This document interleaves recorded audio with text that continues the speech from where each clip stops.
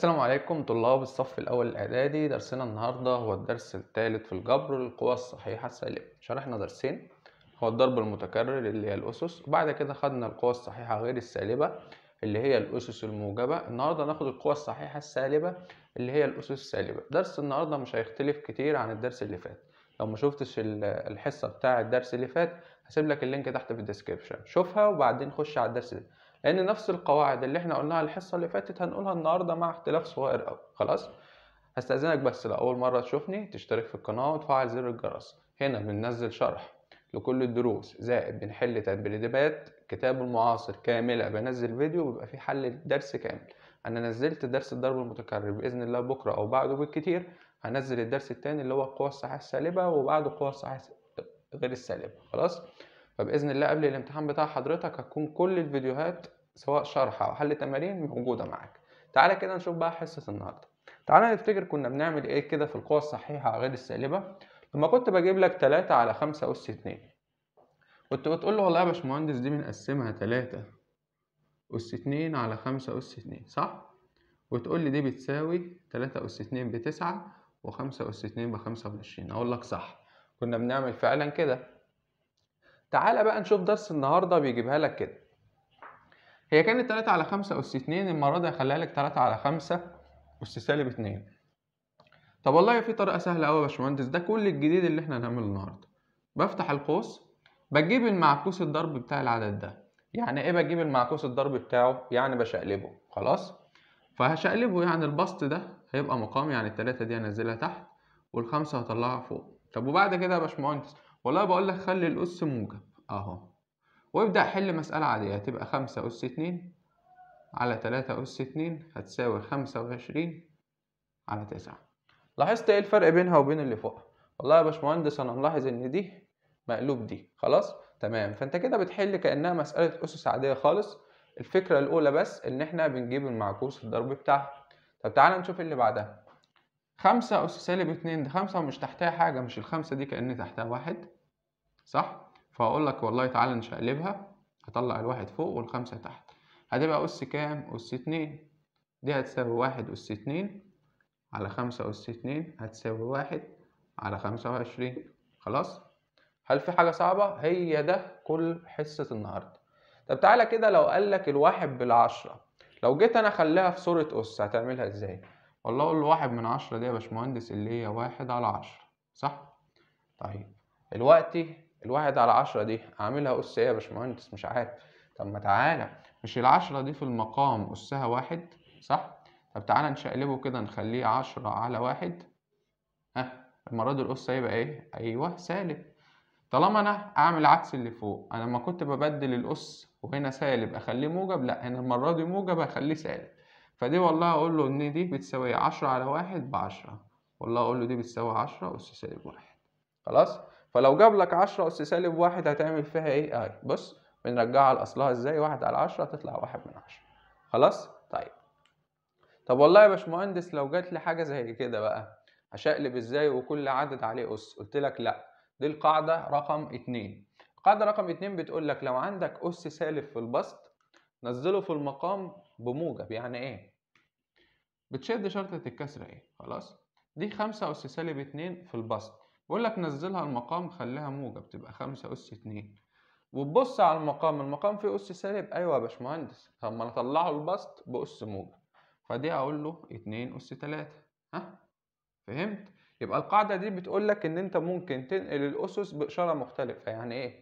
لو أنا عندي أس في البسط سالب انقله في المقام يبقى موجب طب لو عندي في المقام أس سالب انقله في البسط يبقى موجب خلاص؟ وبعد كده أجيب الناتج. اتنين أس تلاتة بتمانية خمسة أس اتنين بخمسة وعشرين. تبقى أنت كده خلصت. فهمت الفكرة؟ يبقى إحنا قلنا لحد دلوقتي كام فكرة؟ فكرتين. أول فكرة إن بيجيلي عدد زي ده العدد كله عليه أس فبجيب المعكوس الضربي بتاعه وبحول الأس لموجب. طب لو عندي رقمين بقى الوقت العدد ده مش كله العدد ده كله رقم عليه أس. فبنقل الأس السالب في المقام أو البسط بإشارة إيه؟ موجبة. طب تعالى نشوف اللي بعدها كده. خمسة عليها أس معلهاش هنقلها زي ما هي. س أس سالب تلاتة. طب والله هقول له دي اللي هي واحد على س أس تلاتة. عملت إيه يا باشمهندس؟ ما أنا قلت لك تجيب المعكوس الضربي. طب المعكوس الضربي بتاع السين اللي هو إيه؟ واحد على س فبنقل السين هنا. يبقى خمسة في واحد هتديني خمسة. على س أس تلاتة. طب في طريقة سهلة؟ آه. بيقول لك طول ما في عددين مضروبين في بعض مش الخمسة والسين دي مضروبين في بعض انقل اللي أسه سالب تحت. يعني إيه؟ يعني دي خمسة أقول له والله دي خمسة على س أس تلاتة. عملت إيه يا باشمهندس؟ كل اللي أنا عملته ان أنا جبت الحاجة اللي أسها سالب نزلتها تحت. طب انت عملتها كده ليه؟ ده بس بيقول لك دي في حالة الضرب بس. ما ينفعش تحصل الا في الضرب أو القسمة. جمع وطرح؟ لا وهنشوف أمثلة على كده. طب تعالى نشوف اللي بعدها. يعني اللي بعدها يا باشمهندس دي تقدر تقول لي إن دي س اس اتنين. على ص أس تلاتة أقول لك آه. خلاص؟ كده أنت عملت إيه؟ الأس السالب أهو نزلته في المقام بأس موجب خلاص؟ تعال نشوف اللي بعدها. بنفس الطريقة الاتنين زي ما هي. طب تعالى ننزل بقى. السين أسها سالب أنزلها تحت تبقى موجب صاد أسها سالب أنزلها تحت تبقى إيه؟ موجب أصبح الدرس سهل خالص. يبقى أنت عندك أي طريقة. ممكن تجيب المعكوس الضربي وبعدين تضرب أو بالطريقة السهلة اللي أنا قلت لك عليها دي. طب في قواعد الأسس كنا بنلاقي لو أس كده في أس بنعمل إيه؟ بنضربهم في بعض. بس دول سالب يا باشمهندس. أشقلب لأ ما تضربهم الأول. والله دي اتنين أهي. أس. سالب واحد في سالب أربعة بموجب أربعة. اتنين أس أربعة اللي هي اتنين في اتنين بأربعة وأربعة في أربعة بستاشر يبقى دي الناتج بتاعها كام؟ ستاشر طب تعالى نشوف اللي بعدها. س أس سالب خمسة كل أس اتنين. قلت لها يا باشمهندس بضربهم في بعض. أدي السين. سالب خمسة في اتنين. بالسالب عشرة أهم قاعدة بقى إن أنت ما ينفعش في أبسط صورة تسيب له أس سالب. لازم تحولها لموجب طب دي حولها لموجب إزاي يا باشمهندس؟ طب ما تجيب معكوسها أهو ونزل الأس السالب في المقام بيبقى موجب. خلاص؟ يبقى خلصت. تعال نشوف اللي بعدها. صاد أس تلاتة على صاد أس خمسة. والله يا باشمهندس قلت لي عند القسمة بنطرح الأسس. انقل الأساس اللي هو صاد. تلاتة ناقص خمسة بيديني سالب اتنين. ده طلع أس سالب يا باشمهندس ما مش مشكلة. هعمل إيه؟ هحولها لواحد على صاد دي أسها سالب تبقى موجب يبقى إحنا عملنا إيه؟ كل اللي بنعمله إن إحنا بننزلها المقام بأس ماله أس موجب تعال نشوف اللي بعدها. ألف أس تلاتة على ألف أس اتنين. والله يا باشمهندس قلت لها عند القسمة بنطرح. تلاتة ناقص ناقص اتنين. اللي أنا كتبتها لك قلت لك عشان مهم. سالب في سالب بكام يا باشمهندس؟ بموجب يبقى تلاتة زائد اتنين بكام؟ خمسة يبقى ألف أس كام؟ خمسة دي عليها أس سالب؟ لأ يبقى مننزلهاش خلاص؟ تعال نشوف اللي بعدها اتنين أس سالب تلاتة على اتنين أس سالب ستة والله أنت عندك طريقتين أول طريقة ممكن أقول له عند القسمة بنطرح الأسس طالما الأساسات متشابهة يعني إيه الأساسات متشابهة؟ يعني دي اتنين ودي اتنين طب ينفع كانت اتنين وتلاتة؟ لأ بنطرح ساعة الأساسات المتشابهة بس سالب تلاتة أهي ناقص ناقص ستة والله دي سالب تلاتة ودي أصبحت موجب يعني سالب تلاتة زائد ستة هتديني تلاتة يعني دي كأنها اتنين أس تلاتة هتديك كام؟ تمانية طب إيه الطريقة التانية يا باشمهندس؟ الطريقة التانية اللي أنا قلت لك عليها لو في أس سالب في المقام ننقله فوق يبقى موجب يبقى اتنين أس ستة دي أس سالب في البسط ننقله في المقام يبقى موجب يبقى اتنين أس تلاتة أصبحت مسألة قسمة برضه اتنين واتنين نفس الأساس عند القسمة بنطرح اتنين ستة ناقص تلاتة هتديك تلاتة برضه ويديك نفس الناتج. خلاص؟ شوف الطريقة السهلة اللي تريحك إيه واعملها. وأنا بعمل لك كذا طريقة. طيب تعال نشوف اللي بعدها. خمسة أس سالب اتنين في خمسة. أس خمسة قلت لي عند الضرب بنجمع الأسس. أدي الخمسة. سالب اتنين وموجب خمسة تديني خمسة أس تلاتة. على المقام اللي هو خمسة أس تلاتة اديتك كام؟ خمسة أس تلاتة. على خمسة أس تلاتة تديني واحد. خلاص؟ قلت لها يا باشمهندس ده أنا بحب أعمل اللي هي عند القسمة بنطرح الأسس أدي الخمسة تلاتة ناقص تلاتة هتديك خمسة أس صفر. طب ما الخمسة أس صفر بواحد. أي حاجة أس صفر بكام؟ بواحد. يبقى هي اديتك إيه؟ واحد. تعال نشوف اللي بعدها. سبعة أس سالب أربعة في سبعة أس تمانية. والله عند الضرب. ها بنجمع الأسس. أدي السبعة. سالب أربعة وموجب تمانية تديك موجب أربعة. على سبعة أس خمسة. حلو. عند القسمة بنطرح الأسس. سبعة. أربعة ناقص خمسة يا باشمهندس بسالب واحد. إيه ده؟ أنت قلت لي ما سيبش أي سالب. صح. أقول له بيساوي. السبعة أس سالب واحد دي هنزلها المقام يبقى سبعة أس واحد اللي هي بكام في الآخر. صفر خلاص؟ يا رب تكون الفكرة وصلتك. بيقول لي نصف العدد اتنين أس عشرين. أما جيت أقول لك مثلا نصف الأربعة كام؟ بتقول لي والله أربعة على الاتنين طب ما أنا ما أقول لك نصف أي عدد يعني اقسمه على الاتنين طيب. أدي اتنين أس عشرين هقسمها على الاتنين. خلاص؟ ملاحظ إيه؟ إن الأساس هو هو والاتنين دي كأن عليها واحد. أقول له عند الاسم بنطرح الأسس يبقى اتنين. عشرين ناقص واحد يبقى تسعتاشر. يبقى تخلي بالك قوي من النقطة دي. ما يقول لك نصف عدد يبقى اقسم على الاتنين. تلت عدد بقسم على التلاتة. ربع عدد بقسم على الأربعة. خلاص؟ كده إحنا إيه؟ هو ده شرح الدرس كله. خلينا نشوف أمثلة تانية كده ونفهم بيها الدرس. أه نشوف بقى الأفكار اللي ممكن تجيلك في الدرس ده. بيقول لي نص أس اتنين. تعالى نمسك حد حد كده زي ما أنا علمتك ونحل لوحده. والله نص أس اتنين دي اللي هي واحد أس اتنين بواحد يا باشمهندس. على اتنين أس اتنين اللي هي بأربعة زائد. اتنين أس صفر أي حاجة أس صفر يا باشمهندس والله بواحد. ناقص. اتنين أس سالب اتنين قلت لك أجيب المعكوس الضرب اللي هو الاتنين يبقى معكوس الضرب بتاعها اللي هو نص دي كأن مقامها واحد؟ قلبت ويبقى الأس زوجي هقول لك أنت كده كام؟ تمام. هقول له دي ربع. زائد واحد ناقص. واحد أس اتنين بواحد. اتنين أس اتنين بأربعة. يساوي عدد ومعكوس الجمع يبقى الربع. هيروح مع السالب ربع. يفضل إيه واحد. يبقى الناتج بتاعي كام؟ واحد. كل اللي بيعمله هنا إن هو بيعودك إزاي هنا؟ مع الأس الزوجي والأس الفردي والأس السالب سوري تتعلم. تعال نشوف اللي بعدها. واحدة واحدة. ألف أس سالب واحد على باء تربيع قلت لك اما تلاقي ضرب أو اسم تعمل إيه؟ تنزل الأس السالب تحت. يعني ده ألف أس سالب واحد. والله أنا هشيلها. طب طالما شلتها يفضل مكانها إيه؟ واحد. ما يفضلش مكانها صفر بيفضل مكانها واحد. وأنزل الألف تحت أس واحد. مضروبة بباء أس اتنين. كده ده خلصتها. في ألف أس سالب واحد في ألف أس سالب اتنين. بنعمل إيه؟ بنضرب السالب واحد في السالب اتنين يا باشمهندس. خلاص؟ هتدينا ألف أس سالب واحد في سالب اتنين بألف أس اتنين. على اتنين في أس سالب اتنين. مش إحنا بنوزع؟ أهو. في. باء أس سالب اتنين. اتنين في سالب اتنين بسالب أربعة يا باشمهندس. خلاص؟ تعالى دي نشوفها بتساوي إيه؟ دي بتساوي واحد على ألف باء اللي هي الأولى. تربيع. في. ألف تربيع ده أسها زوجي بسيبها زي ما هي. الاتنين أسها سالب مرفعها فوق بأس موجب. يبقى اتنين أس سالب موجب اتنين. باء أس سالب أربعة هرفعها فوق بأس موجب. يبقى في باء أس أربعة على واحد. فهمت إحنا عملنا إيه؟ بناخد الأس السالب نطلعه فوق يبقى موجب. طيب الناتج بقى هيساوي إيه؟ يلا واحد على ألف. باء تربيع مضروبة في اتنين أس اتنين بأربعة في ألف تربيع باء أس أربعة. تعالى نختصر. ألف هيروح مع ألف هيفضل هنا ألف. باء تربيع هتروح مع باء تربيع هيفضل هنا باء تربيع. تمام؟ يبقى فاضل لي إيه بقى؟ فاضل في البسط واحد في أربعة بأربعة ألف باء تربيع. ويبقى هو ده الناتج بتاعي. خلاص؟ تعال نشوف المسألة اللي تحت دي. بيقول لي خمسة أس س على خمسة أس ص عودتك طالما في أس سالب ارفعه فوق بالموجب والله أقول له دي يا باشمهندس خمسة أس س في خمسة أس ص. وعملت إيه يا باشمهندس؟ على واحد. رفعت الأس السالب لفوق بأس موجب خلاص؟ أقول له يساوي نفس الأساس اللي هو الخمسة. أهي. عند الضرب بنجمع الأسس يبقى س زائد ص. وتبقى كده خلصت. خلاص؟ فيها حاجة صعبة؟ تمام. تعال نشوف اللي بعدها. تلاتة أس سالب واحد زائد تلاتة أس سالب واحد زائد تلاتة أس سالب واحد.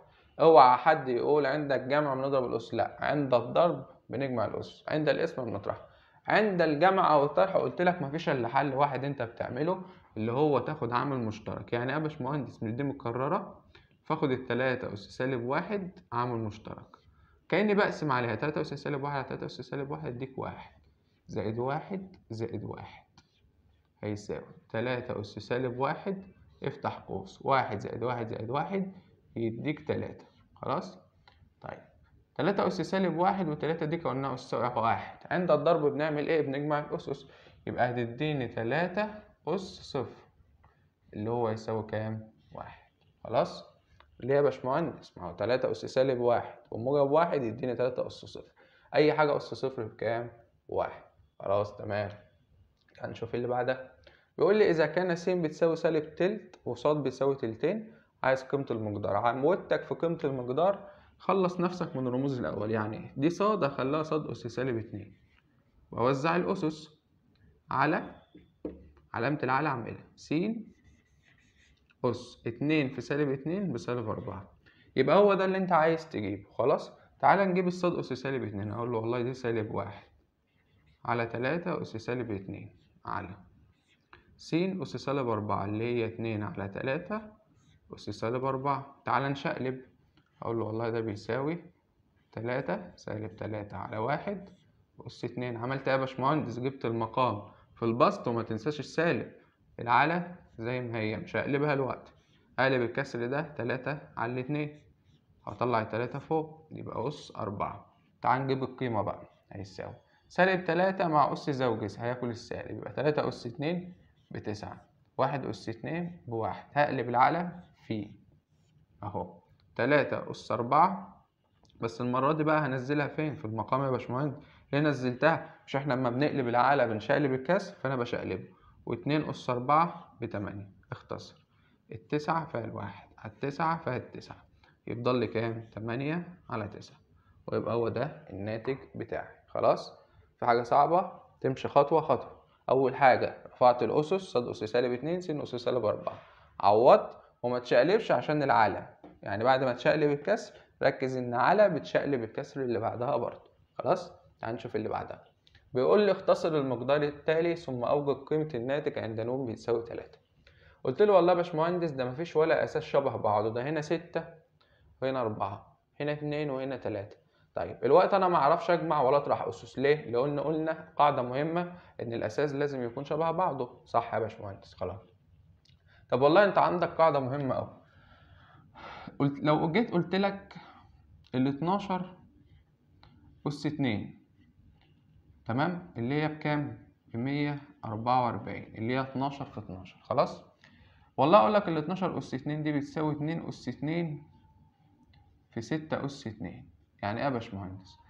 جيت خدت ال 12 دي شفت هي كام في كام.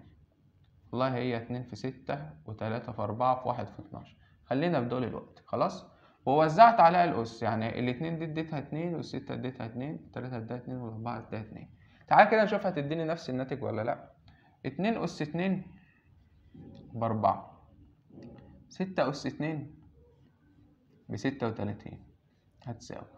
أربعة في ستة بأربعة وعشرين ومعانا الاتنين تلاتة في أربعة باتناشر واتنين أربعتاشر. ادتني نفس الناتج اللي هو مية أربعة وأربعين. طب تعالى كده نجرب التلاتة والأربعة.